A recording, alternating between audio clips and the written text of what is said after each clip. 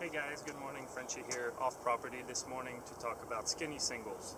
Um, for me, this is a great way to practice your skills, your drills, and especially work on your consistency.